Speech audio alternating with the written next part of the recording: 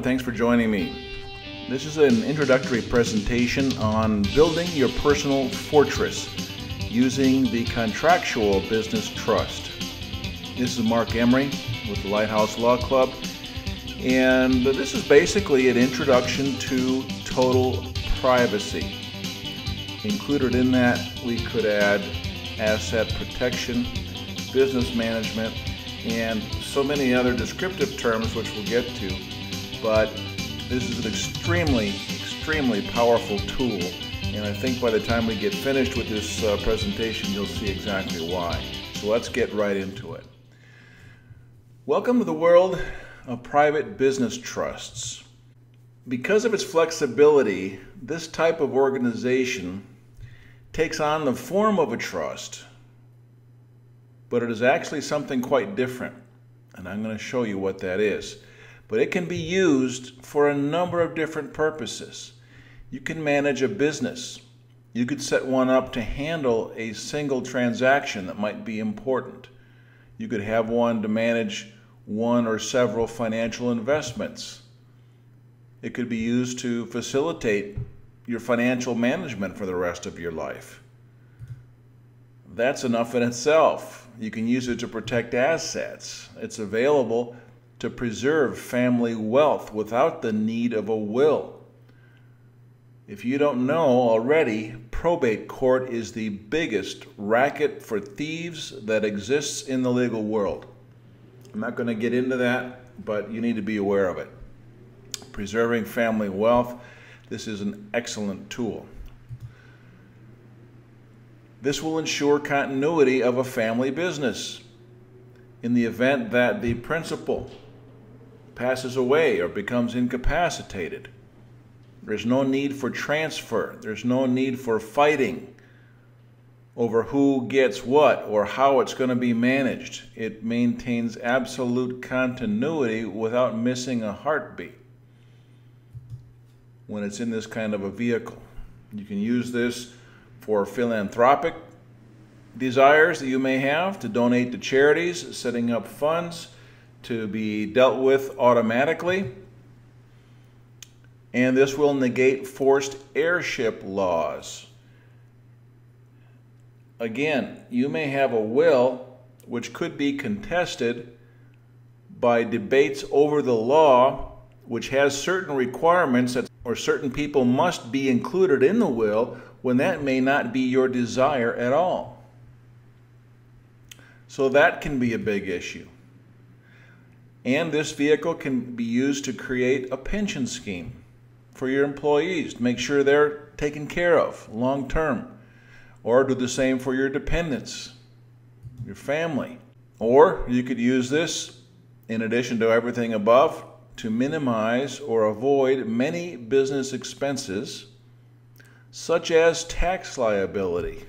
it's funny how that one always seems to sneak in there, isn't it?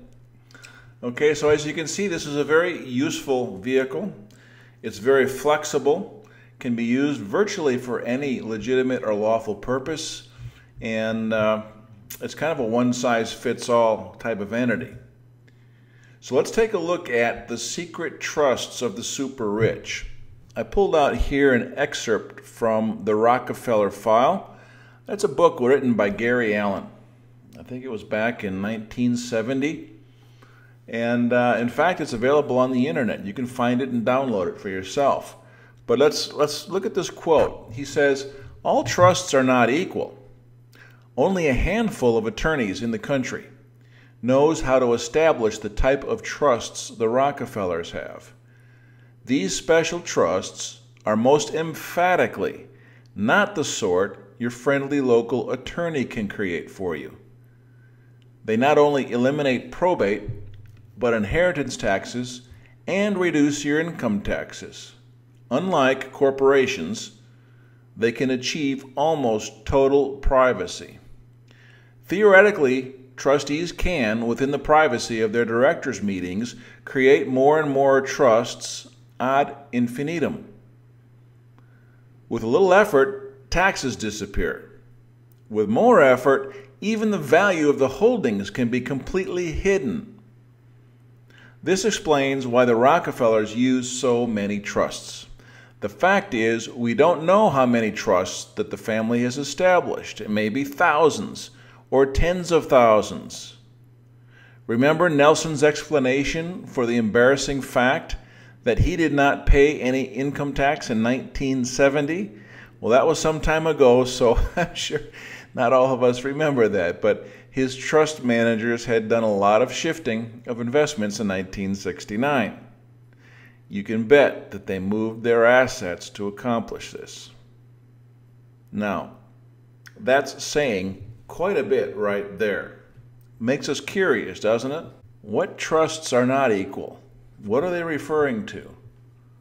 What kind of trusts are they using? And if the Rockefellers are using this, who else is? I'll answer those questions here. All right, let's first take a look at what actually is a trust by looking at the definitions. Number one, a trust is one of several juridical devices whereby one person is enabled to deal with the property for the benefit of another person. Okay, that's simple enough.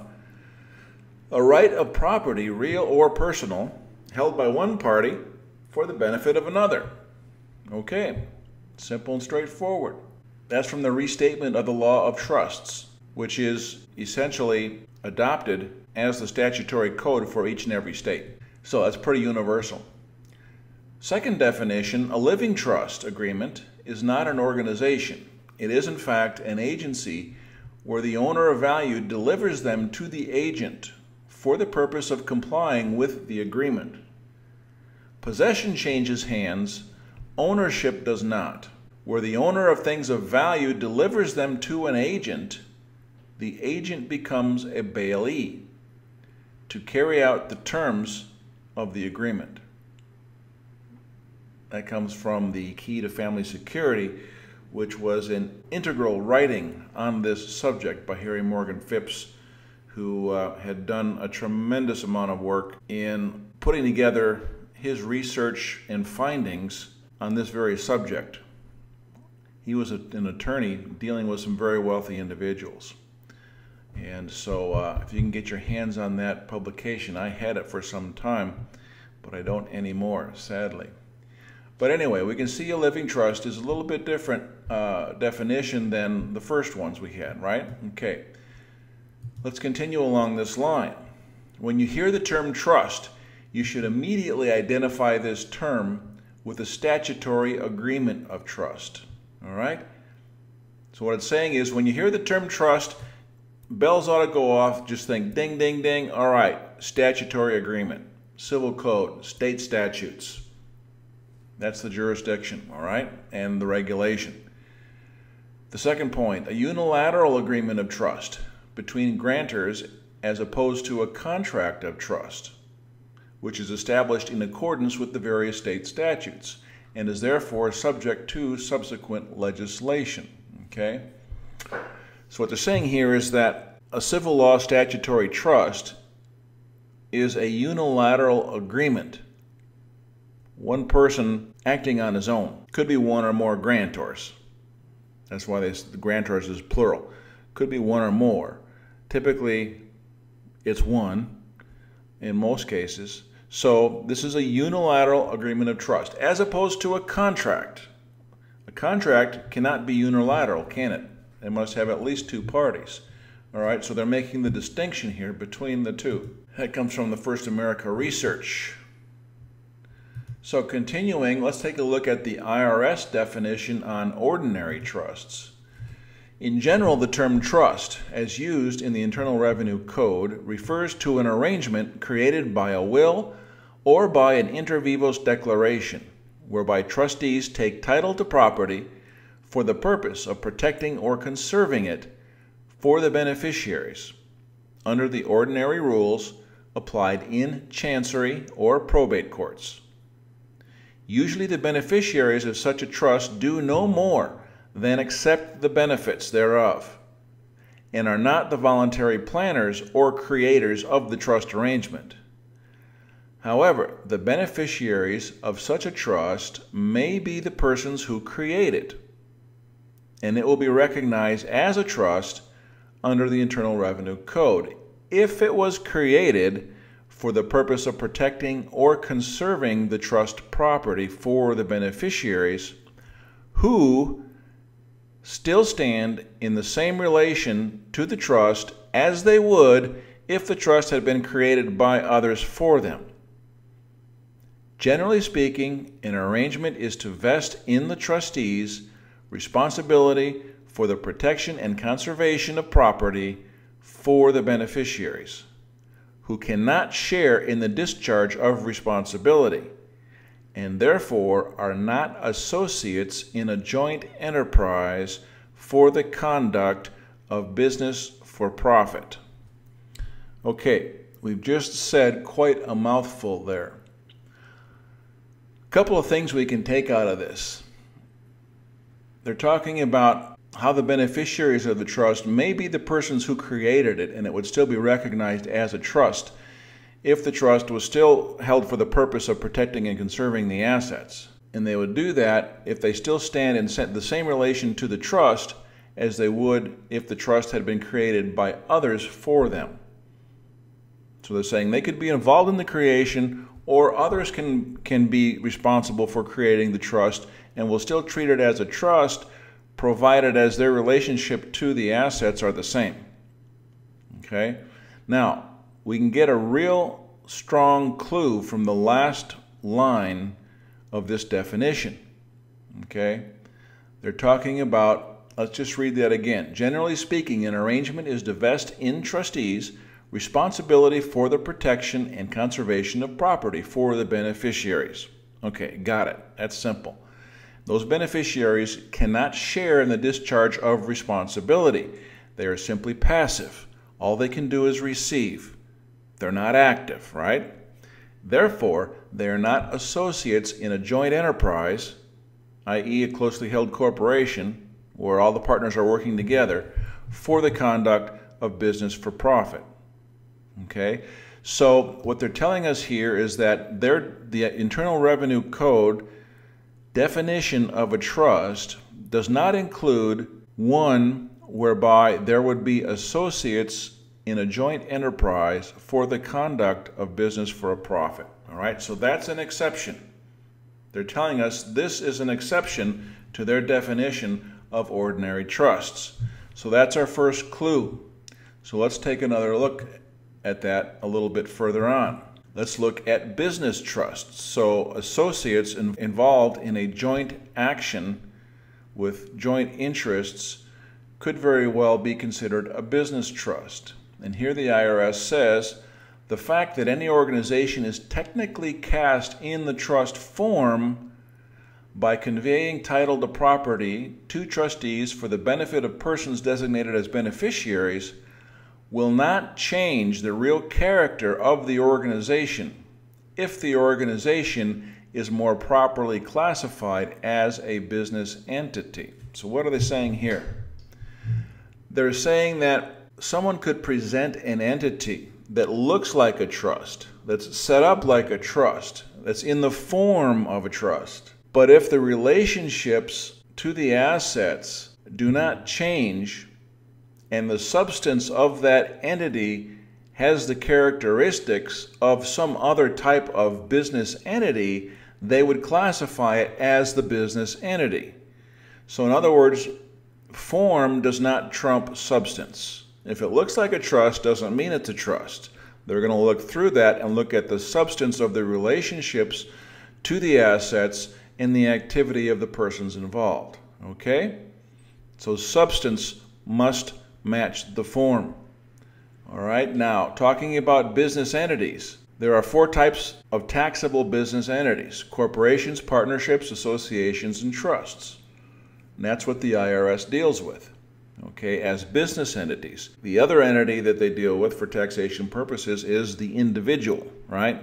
But the individual is not a business entity. We're talking about business entities here, okay?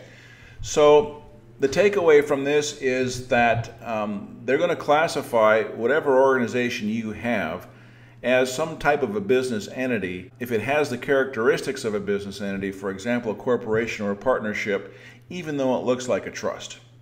They're going to bust right through that form of trust and they're going to treat it and tax it as a business entity. Okay, so that's what they're saying on business trusts. So there's a word to the wise right there, just to be aware of that and be careful on how things are set up. Make sure it's done properly.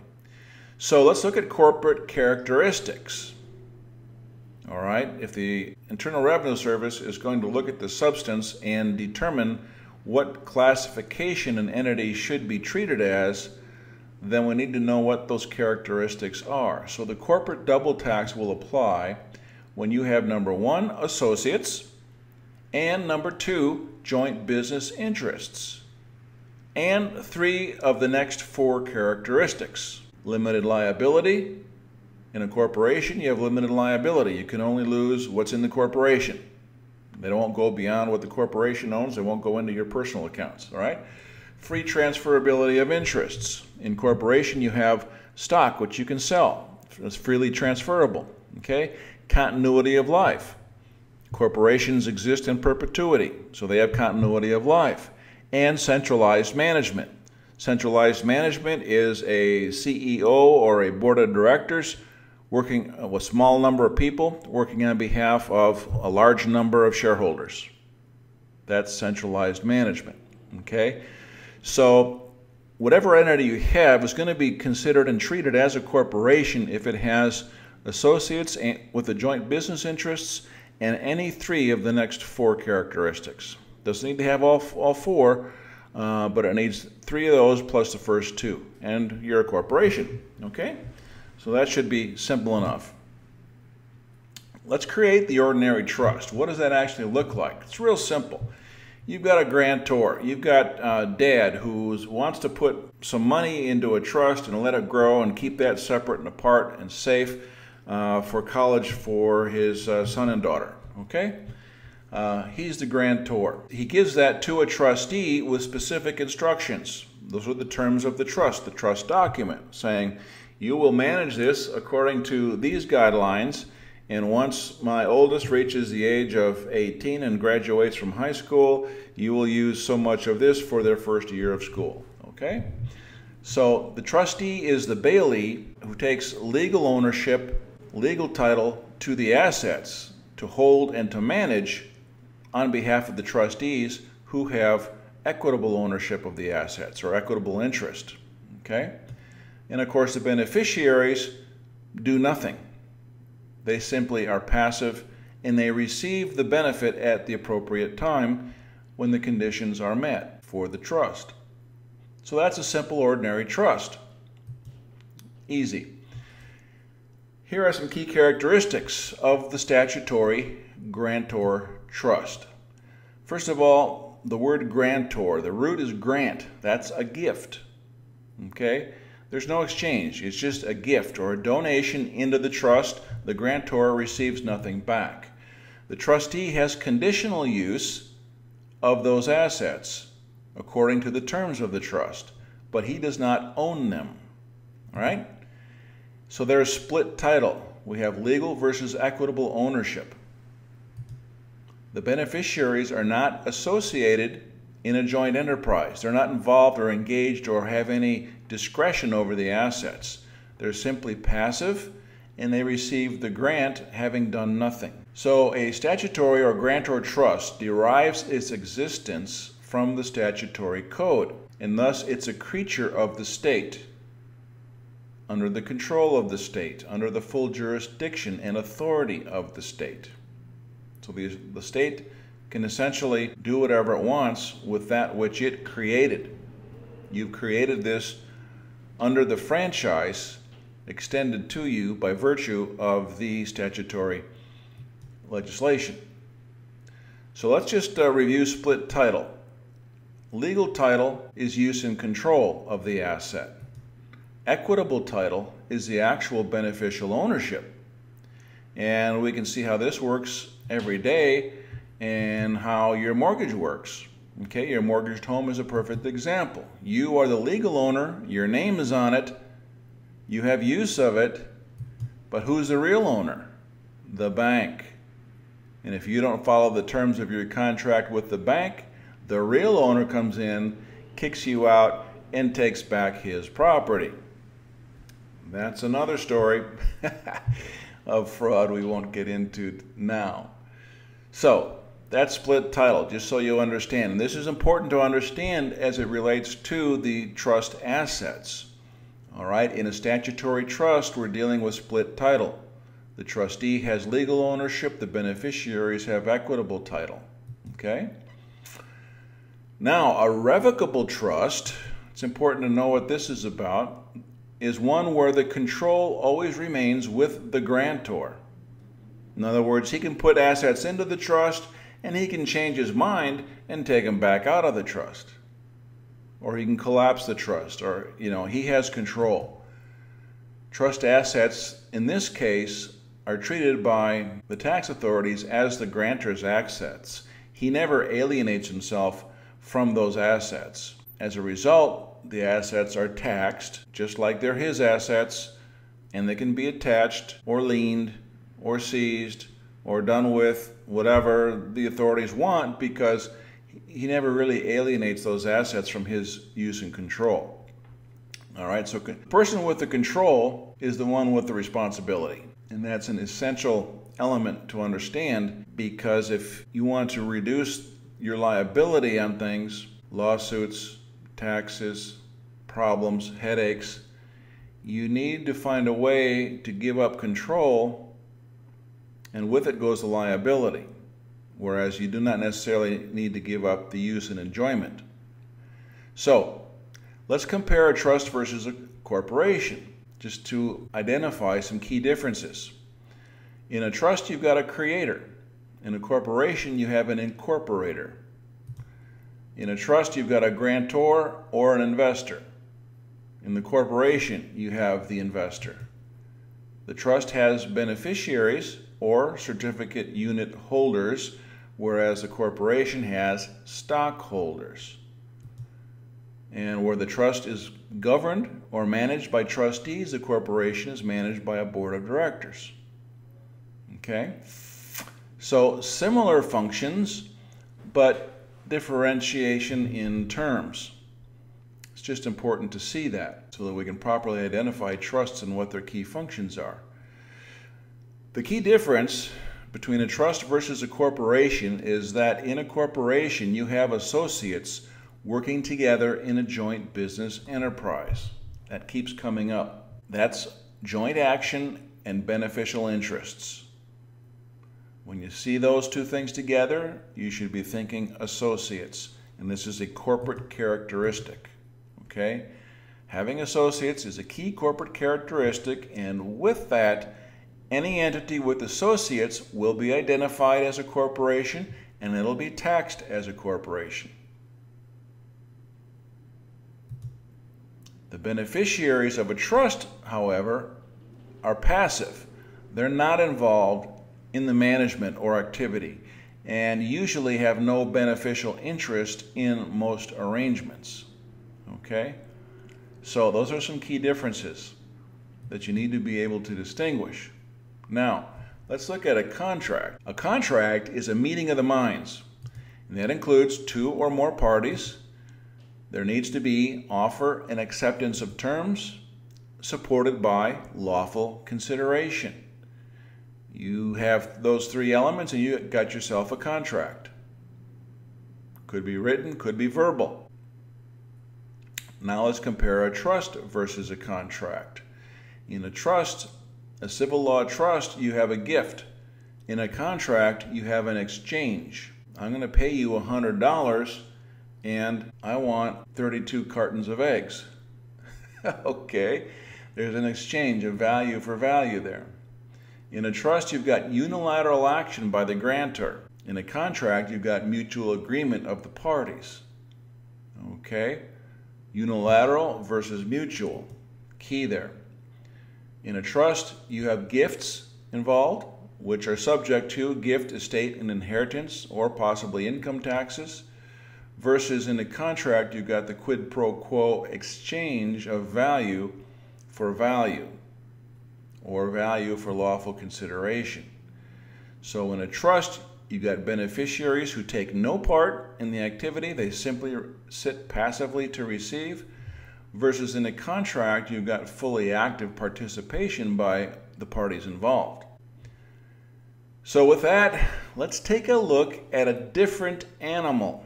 This is not a trust, it's not a corporation. Starts to get a little bit interesting. It's a contractual business organization. What it really is, it's a business organization set up by contract. And it's known by other names. It's known as a colado, common law trust organization, business trust, unincorporated business organization, UBO. It's been called the Massachusetts Trust. Some people call it a blind trust. Others call it a pure trust. Um, it goes by many names. Okay? Personally, I like to use contractual business organization because that is most descriptive and is really reflective of the true essence of what it is. Okay, to most people, you know, you can mention blind trust. Well, most people don't know what a true trust is. What's a blind trust? Uh, contractual business organization. Short and sweet, gets right to the point. Now, some trusts are subject, are others exempt? Let's take a look at this.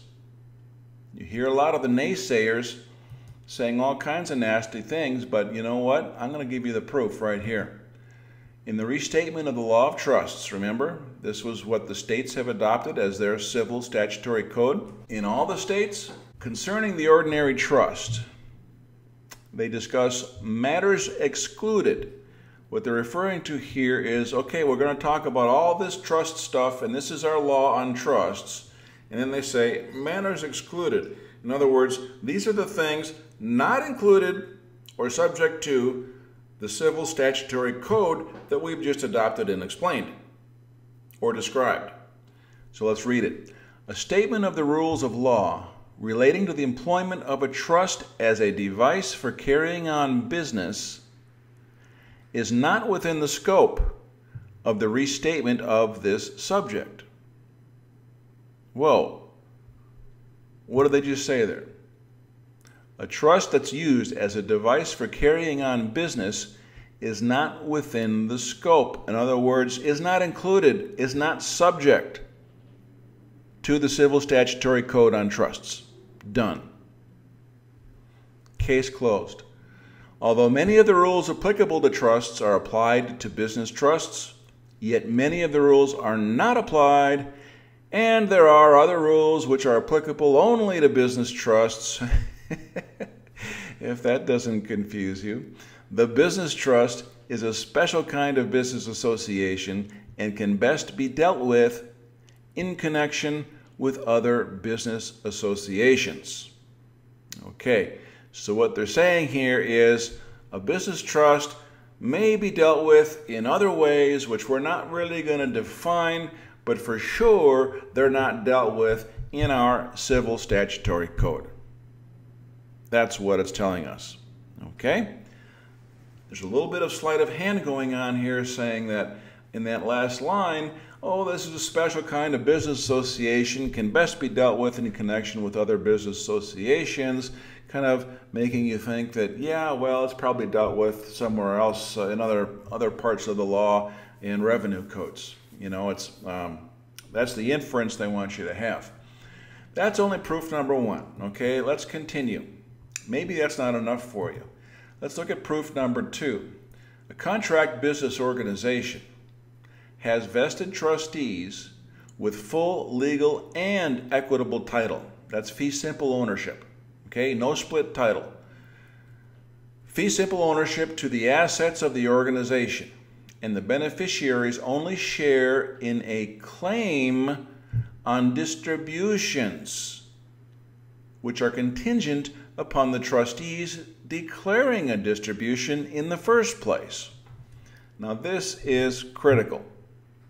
We've got to understand this in the contract business organization, and we haven't really explained this yet, but the certificate unit holders, as so called beneficiaries, do not have a claim on the assets.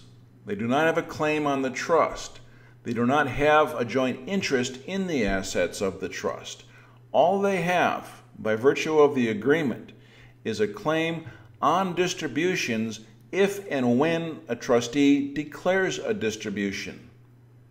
In other words, the certificate unit holder, aka beneficiary, really has no claim whatsoever, other than if the trustee makes a distribution, he gets his fair share.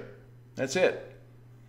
And that's essential when it comes to asset management, asset protection, legal liability, and all kinds of things. And uh, we'll get more into that uh, critical element in the advanced training, which we're not doing here tonight. We're trying to give you an introduction to some concepts here so you understand the power of what we're dealing with.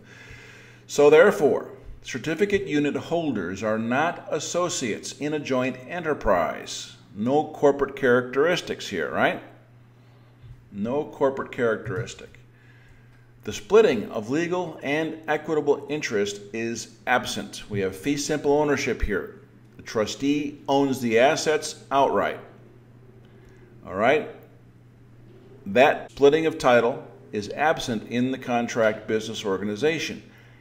And that emphatically means it is not a trust, a civil law trust. No split title. There is no consideration in a trust for the performance of services by the creator or the trustees as there is in a contract. So the consideration makes it clear that we're dealing with the contract and not with a trust agreement. Okay? Let's continue. Let's look at internal revenue regulations. Section 301.7701, 4B. Paragraph B on business trust states that there are other arrangements known as trusts because the legal title to property is conveyed to trustees for the benefit of beneficiaries, but which are not classified as trusts for purposes of the Internal Revenue Code because they are not simply arrangements to protect and conserve the property for the beneficiaries. Wow, that's interesting. So they haven't told us what arrangements they are, but they're not simply arrangements to protect and conserve the property. So what the IRS is telling us is that there are arrangements known as trusts, but which are not classified as trusts for the purposes of tax collection because they are not simply arrangements to protect and conserve property for the beneficiaries. Sounds like they're referring to a business trust, doesn't it? Okay? Let me give an example of this in the state code that I pulled out. If we go to the Colorado Revised Statutes, defining trusts in their probate code, which is where you find the, the trust code is in their probate section which is Title 15 of the Colorado Revised Statutes, uh, Section 10, Paragraph 201, to which the body of statutory law applies. Okay, in other words, this is the section where they're explaining in the beginning of this whole body of trust law in the probate code, they're explaining how and to whom this law applies. Okay, this is the jurisdictional clause. And they will tell us that this body of law excludes business trusts, providing for certificates to be issued to beneficiaries. Wow. That is a red hot clue. We've been talking about business trusts. We've been talking about exclusions We've been talking about uh, substance and form and the nature of relationships, which often lead to corporate characteristics. Now we're talking about the certain business trusts that provide for certificates to be issued, not just a declaration in the trust document itself, but now we're talking about another type of trust which provides for certificates to be issued to the beneficiaries. And this is totally excluded from the civil law state code. Wow. Let's continue. You're going to love this. There was a time back in, uh, I believe it was 1970, presidential election. Nelson Rockefeller was nominated or running as the vice presidential candidate. And of course, you know that uh, presidential candidates have to make certain uh, financial disclosures. They need to file their financial statements, net worth, and so forth, make all kinds of disclosures. And the Senate subcommittee that reviews those things will uh, go over that, look for any uh, inconsistencies, clarify those, and just make sure that things are in order for this person to run for public office. Okay, so here's Nelson Rockefeller sitting before the Senate subcommittee reviewing his finances. He submitted his financial statements, and the Senate subcommittee reviewed those financial statements and here's what they had to say. Get a load of this. The Senate subcommittee is quoted, quote, due to the complexity and lack of legal means necessary under law to secure in-depth records of the Rockefeller estate, nor having the powers to abridge the right of contract, we must assume that the $218 million figure that he submitted is accurate. wow. Let's take a look at this. I want to make sure this sinks into you. All right. First off, remember that quote from uh, Gary Allen on the Rockefeller files? Files he, he, we talked about just a few minutes ago, talking about how the trustees could could in their own private uh, meetings create as many trusts as they wanted to create privately, and that would be nobody's business but their own. So, what does the Senate subcommittee say? Well, due to the complexity, how many tens of thousands of, uh, of trust entities did they have set up? Who knows? Nobody knows. But we know it was complex. We know that's for sure because that's what the Senate subcommittee told us. All right, and then they tell us due to the lack of legal means necessary under law to secure in depth records. Now, what are they telling us here? This Senate subcommittee, made up of powerful senators for the United States of America, did not have the legal means to demand and require the production of certain records. Why? because the senators in the subcommittee work for a corporate fiction that operates under statutory law. And what Rockefeller had was not created by virtue of that statutory law. Those entities were not under the jurisdiction. They were not created by the Creator, and thus the Creator has no authority over that which He doesn't create Himself. Do you see how important that is? They've just confirmed the power of the privacy of these entities. Now, lastly, they say, nor do we have the powers to abridge the right of contract. So, what's that telling us?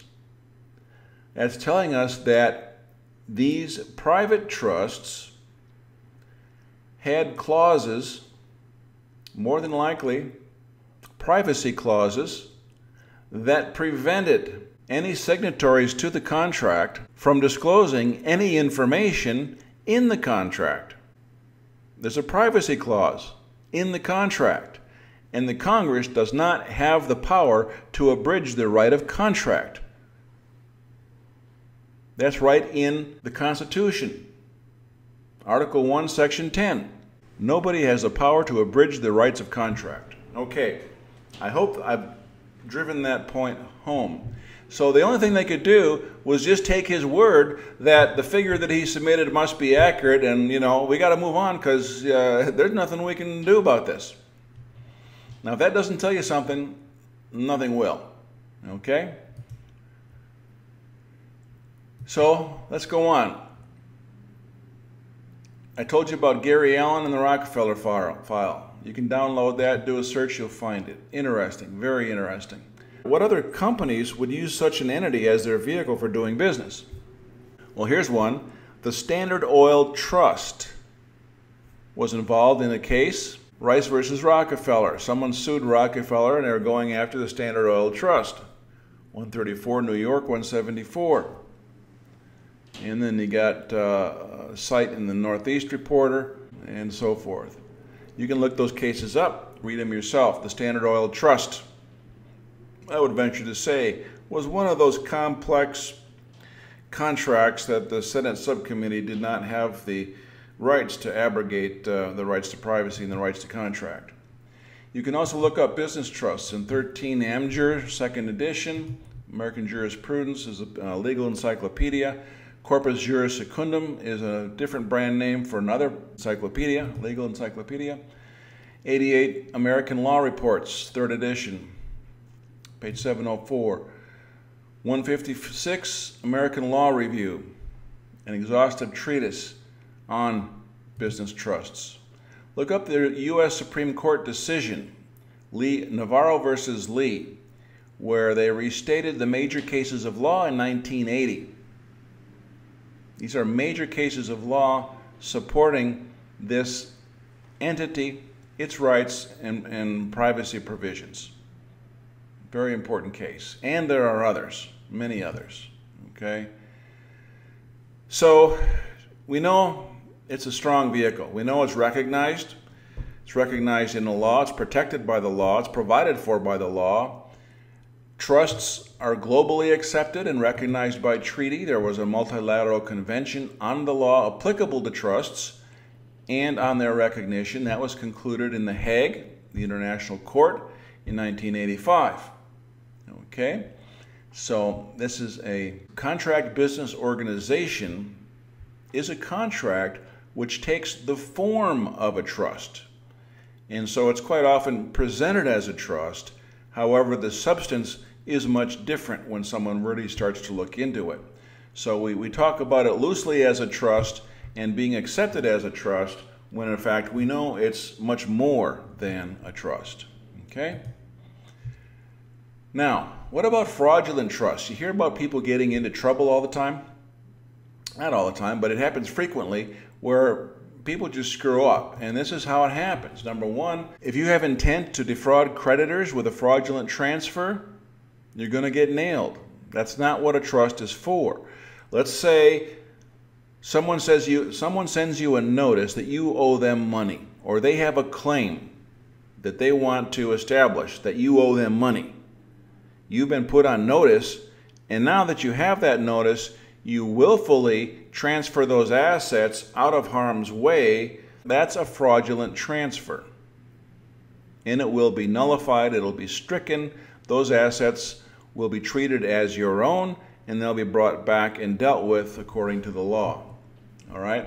Another way people get messed up is the grantor sets up an alter ego, which is a sham.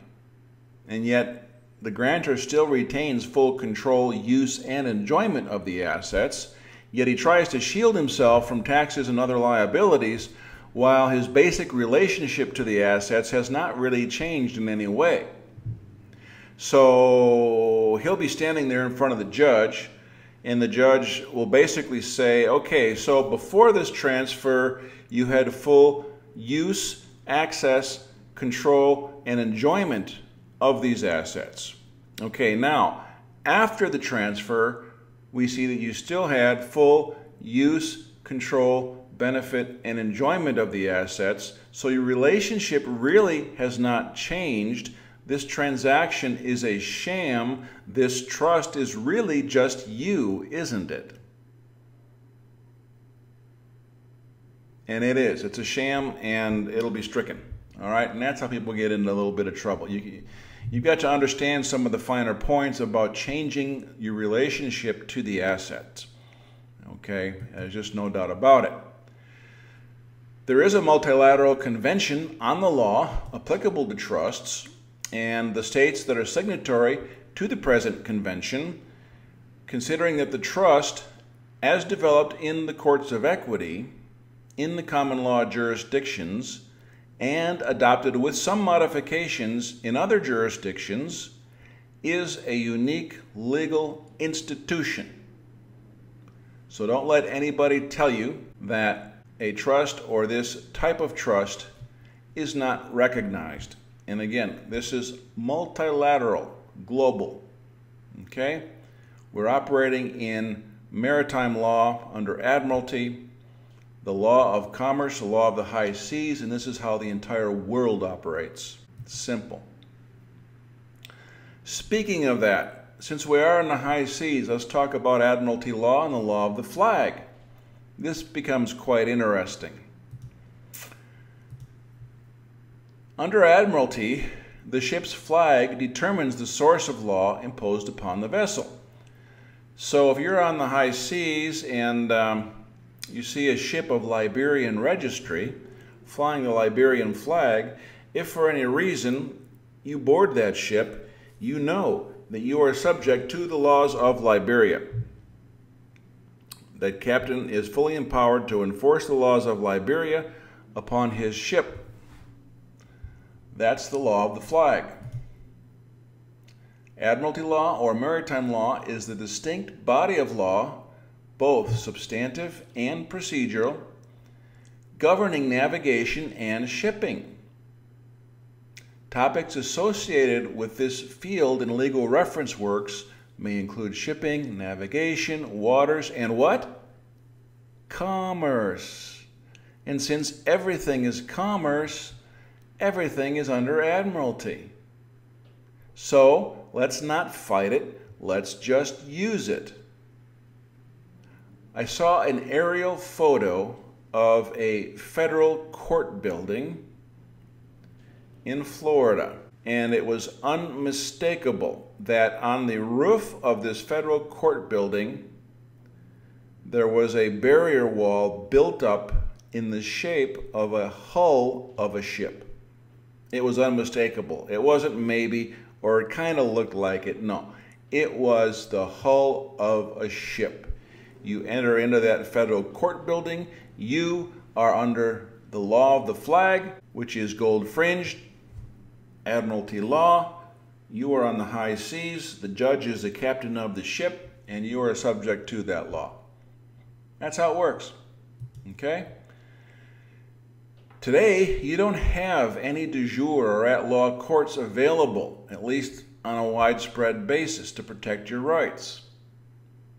Under Admiralty, you don't have any rights. You only have the contract.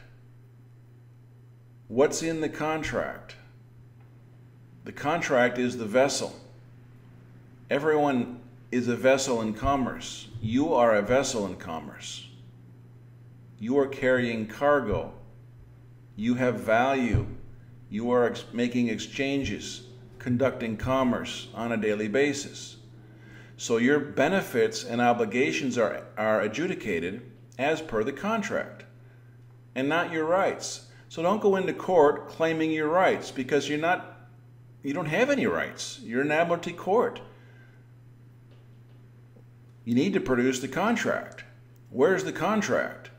That stipulates what your benefits and obligations are. Okay, so we're going to do the same thing. We're going to use Admiralty law. Take a look at Anguilla. Anguilla is a little island in the Caribbean. They have a new trust ordinance. Very progressive, very interesting. This is the flag of Anguilla. And in this instance, our vessel is floating upon the waters of international commerce. Our vessel is the contract. Let's just say we put the, the Anguilla flag as the masthead on our contract, our contractual business organization. And we make a notation that the, we are now subject to the laws of Anguilla but these are only for reference, governing the contract. They are not the source of existence. The contract or the entity or the vehicle did not come into being by virtue of those laws, but those laws are merely for reference and for governing purposes. Okay? The trust ordinance provides some very flexible management, extremely flexible. In other words, you can do pretty much anything you want to do, provided it's not illegal or immoral. It's going to hurt anybody. extremely flexible. It recognizes variant trusts, and these are like special purpose trusts or trusts that look different or act different, uh, have different purposes, different characteristics. Okay, so you can have all kinds of different types of trusts under the Anguilla Trust Ordinance. And the Anguilla courts will not recognize the validity of any claim from any other court or jurisdiction. That's interesting. You know how members of the G20 states, they all work together, help each other, stealing from their people, sharing information, enforcing each other's draconian regulations. Anguilla courts don't do that. Okay, you understand that.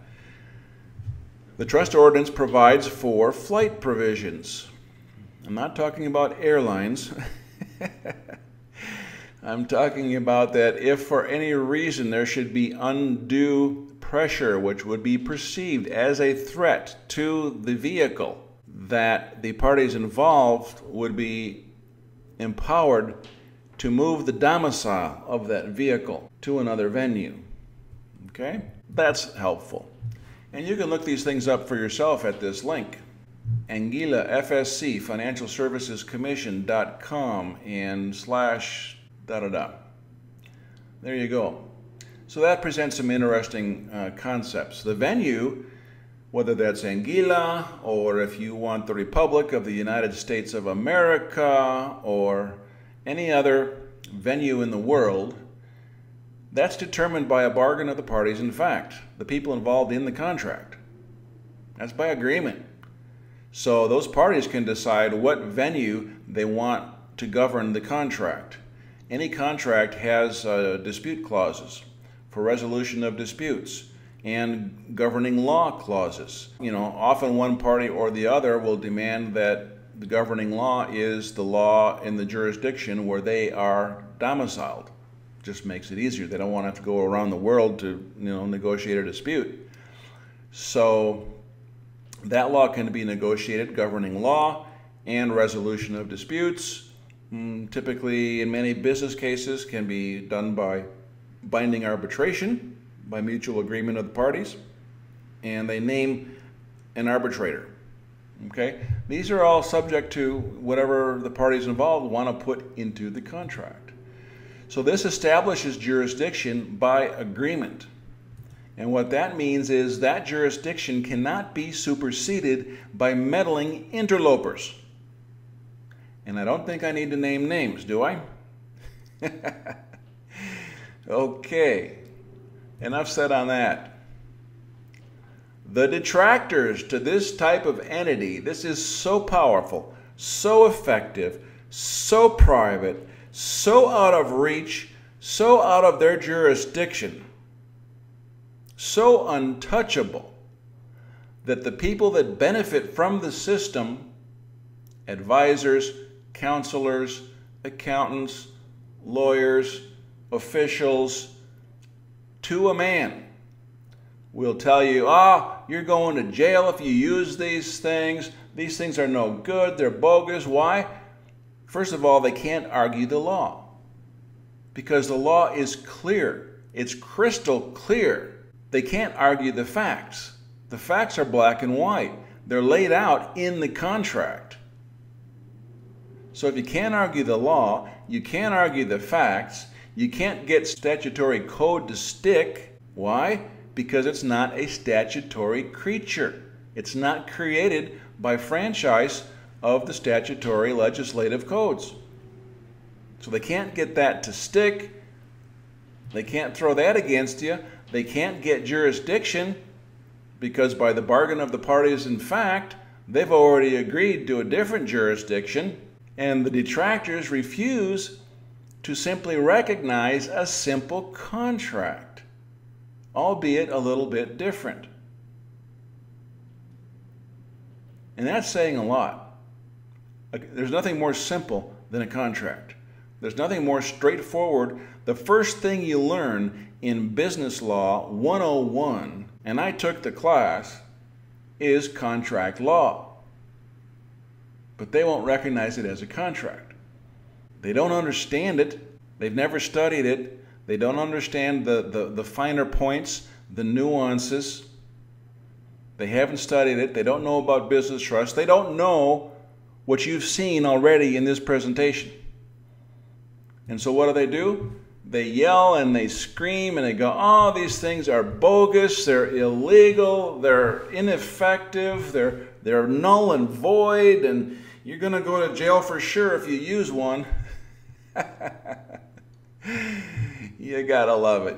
I just love seeing these people blow smoke out their ears, steam in most cases. So, freedom and sovereignty, folks, is only for those who really are strong in their knowledge and understanding, who can take responsibility upon themselves, make their own decisions, they can think for themselves, are not being blown in different directions with every wind or breeze that comes along. And true sovereigns instruct their professional advisors on how to protect them. And they don't allow the tail to wag the dog. That's a true sovereign who's living free. And your education is the key and the backbone behind all that. So the question is when would be the best time to start doing some serious business? That's a question only you can answer, but I'll give you this to think about. Would it be closer to now? Or are you going to do like most people do and say, well, maybe someday? And you know, the funny thing is, I've never been able to find maybe someday on the calendar. It's the damnedest thing. it never shows up. So make your choice. Manage it well. Understand these issues. Put them to work for your benefit. Live a life of privacy, freedom. And this will be the end of our introductory comments.